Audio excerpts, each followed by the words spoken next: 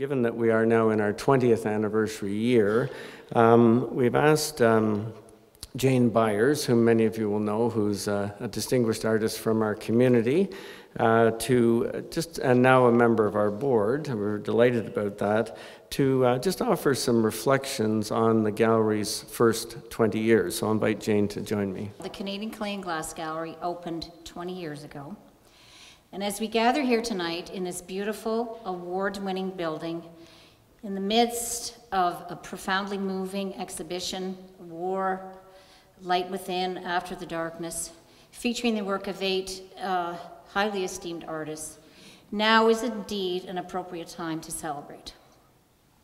The dream to build a Canadian National Gallery to exhibit, promote, and collect contemporary ceramic art began many years ago, actually back in 1936, with the founding of the Canadian Guild of Potters, which later became Ceramists Canada. Through the decades, this dream remained alive, although unfulfilled. In 1981, the death of highly respected potter Ruth Gowdy McKinley and the wish to honor her memory inspired a renewed call and concerted effort to finally find a home for ceramic art. Five possible sites across the country were investigated, including Waterloo, and presented to the Ceramics Canada Annual General Meeting in 1982. The City of Waterloo came out as the clear choice, having already committed to providing a site for the future gallery, thanks uh, mostly to the, the great efforts of Waterloo Councillor Doreen Thomas. This site, 31 years ago, was a bleak, mostly empty space in the center of uptown Waterloo with a parking lot and a bare bones, let's say ugly, hockey rink. Among the initial directors of this proposed gallery, then referred to as the Waterloo Gallery for Clay, Glass, and Enamel Arts, were prominent Waterloo businessmen Larry Marsland and Ann Roberts. Larry Marsland's first task was to create a steering committee to raise uh, the funds to underwrite a feasibility study. The recording secretary of that steering committee was a passionate maker and collector of ceramics, Winifred Shantz. And so began the nine long, sometimes difficult years of planning and fundraising and fundraising and planning and planning and fundraising. And so too began the formidable team of Ann Roberts and Win Shantz, two gals you do not say no to, who through the delays, triumphs, setbacks, and disappointments never faltered in their vision, gathering hundreds of volunteers, supporters, and major patrons to build this gallery, including Donald and Pamela Bierstock, Douglas Wright, Lyle Hallman, John and, and Joyce Pollock, Peter and Betty Sims. Patkau Architects won the competition for the building in 1986. Various economic and political upheavals necessitated new plans, revising of those plans, and the revising of the revisions. Construction did not start until 1991. The gallery officially opened in June of 1993.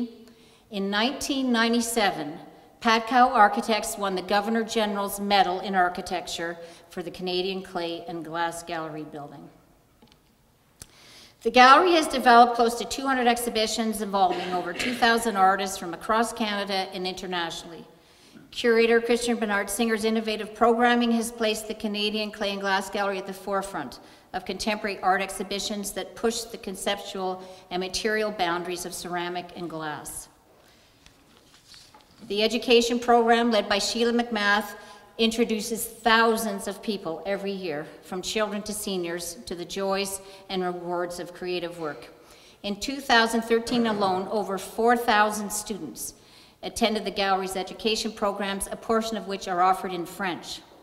The gallery has also developed an innovative educational partnership with the University of Waterloo Fine Arts Program.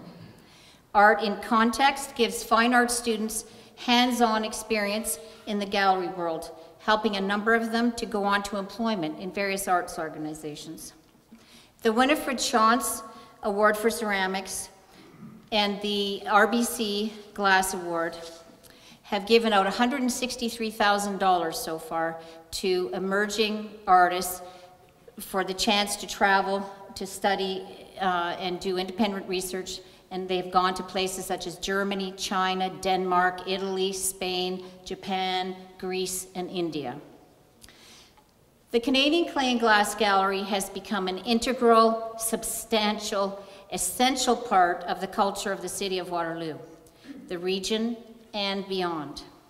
A tremendous amount has been achieved, but the gallery as a building and as an institution remains a work in progress. There is still much to be done. As we celebrate the past 20 years, let's remember and acknowledge the tenacity, the courage, and the vision that was required Van Roberts, Win Shantz, and so many others to build this vibrant, meaningful, beautiful place. Let's aim to be worthy of the legacy that they have left us as we go forward into the next 20 years and beyond. Thank you.